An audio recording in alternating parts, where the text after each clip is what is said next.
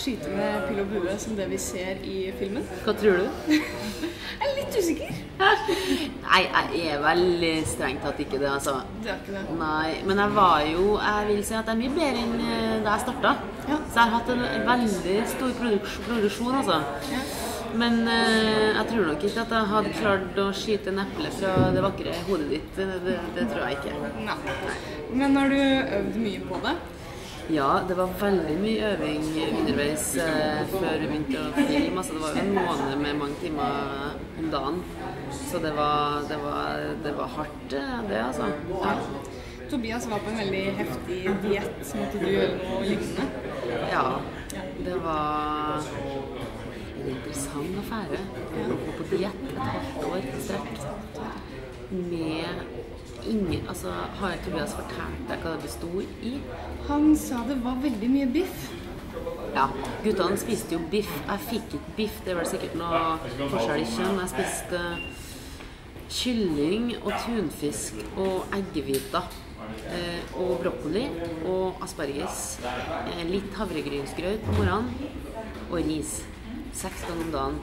Uten smak, uten salt, uten olje. Eh, altså bart. Oi. Det er ok den første uka, for da er det litt sånn artig. Og uke nummer to også går helt greit, for det, det er jo film og det er også så spennende. Uke tre var veldig smakløs, den kyllingen. Uke fire Nå skal vi ha noe annet enn tunfisk, eller uke fem Kan vi få noe salt på den her, her uke seks? Og derfra så blir det vel en slags mental slags øvelse. Men var det aldri at du tok deg et eller annet ekstra, eller Jo da, altså det er jo noe med det, sånne type dietter som er ekstrem, som aldri, aldri, aldri gjør det utenom spesielle situasjoner. Eh, som heter seg at man skal ha sånne cheat meals, altså en dag eller et måltid i uka hvor man gafler nedpå det man eh, bare har lyst på, sånn at man ikke skal bli gal. Eh, men jeg, jeg, jeg glemmer jeg, Det var ingen som fortalte meg konseptet cheat meal. Sånn at jeg liksom det, Nei, så det ble ikke så mye av det for min del. Innimellom så var Er det jo det nå? Ja, altså Nei da, jeg bare Helt alvorlig talt, så Ting man erfarer for første gang, erfarer man jo for første gang. Eh, Så gjør man seg jo noen erfaringer ut ifra det. Sånn at hvis det nå blir en oppfølger, eller jeg skal gjøre noe lignende, så eh, skal jeg vel kanskje gjøre ting litt annerledes på den fronten. ja. Er det snakk om at det blir en oppfølger? Det har jo vært meninga fra MGM fra starten av, det at de ville at Hercules skulle bli, bli MGM sin første franchise. Eh, om det blir det, det vet jeg ikke. Det er jo avhengig av hvordan det går eh, publikumsmessig. Men du vil være med hvis det blir en har ikke noe valg, tror jeg. Jeg tror kontrakten er underskrevet for lengst. Ja. Ja. Men hva syns du om eh, rollen du hadde? Ja, altså Atalanta hun er jo en amazone. Eh, og det var jo veldig artig å gjøre litt research altså, på amazonene i forhold til greske myter. da. Eh, de har jo en veldig stor plass innenfor gresk mytologi eh, som noe av det mest brutale, morderiske som finnes. Eh, Atalanta er en meget eh, sterk og kjapp eh, kvinne som òg har sin verdi i behold. Og jeg syns det var veldig artig, og, og det er jo ikke noe av det som synes i filmen, men sånn researchmessig, å se på hvordan grekerne tenkte rundt kvinnelig energi, da. På ene sida så har du det feminine, det mjuke, omsorg og kjærlighet. Og så har du en kvinneenergi som òg er ødeleggende, som er noe av det mest brutale som finnes. Tilstedeværende som kraft. da. Eh, og den dualiteten syns jeg var veldig artig. sånn at det tok jeg med meg inn i det rollearbeidet. Uh, at, uh, at det gikk an å, å snu på flisa og ha en feminin look. Altså, det var veldig viktig for meg. Jeg jobba veldig med regissøren for å få overbevist om at vi må ha noe mjukt. Vi kan ikke ha en sånn Det var varianter som var mye Som så mye tøffere ut. Som var mye hardere, svart hår og eh, Og da, da sa jeg at vet du, jeg synes det er mye mer interessant om det er en mjukhet og en eh, noe som er litt vart. Eh, fordi da har man muligheten til å ha den lille fargen, og så er brutaliteten der likevel. Du spiller jo veldig ofte veldig sterke kvinneskikkelser. Eh, tror du det er noen spesiell grunn til at du ofte blir casta til den typen kvinner?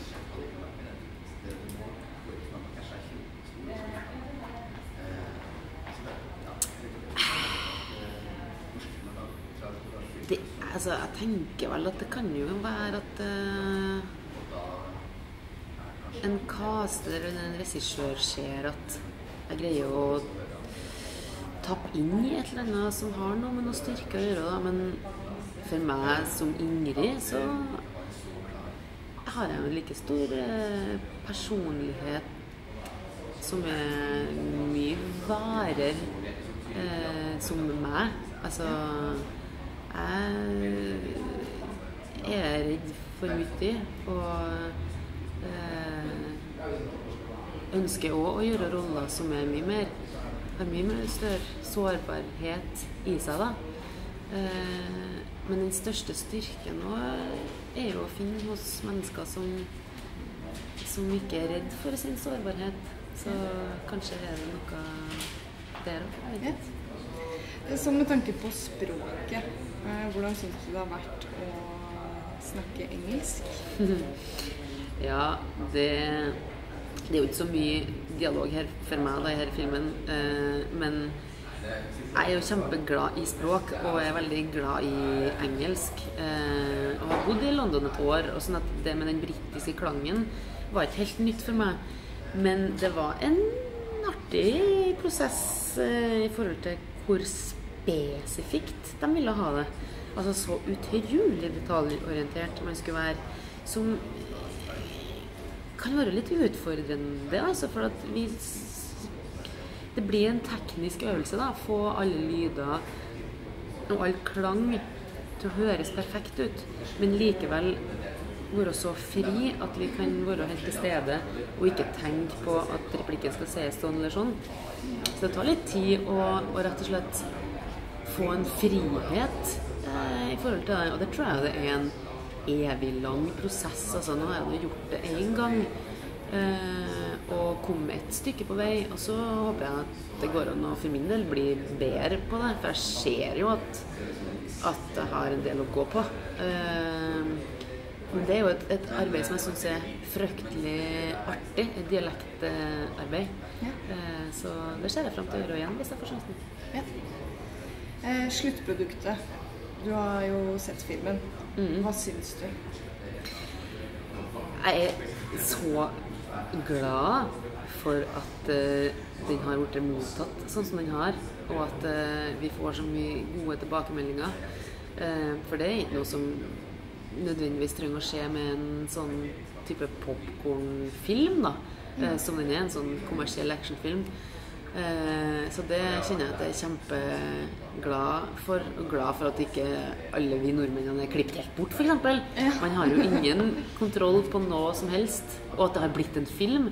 Når du ser på hvor mange prosjekter som er under utvikling i Hollywood som det ikke blir noe av. Eh, Så det at vi sitter her nå, og at jeg kan snakke med deg om en film som faktisk har blitt noe av, som vi faktisk fortsatt er med i, er jo bare fantastisk i seg sjøl, egentlig. Det er det. Ja. Et siste spørsmål helt på dampen. Hvem er kjekkest av Tobias og Aksel? Ohoi! Kjekkest du. Nei, de er jo så kjekke begge to. Klarer ikke å velge? Nei. Nei. Sånn er det. Tusen Men jeg er mest opptatt av at de er gode venner. Ja, dere Det er ser ut som dere er veldig gode venner. Ja. Har en god tone. Ja. Tusen takk. Ja, bare hyggelig.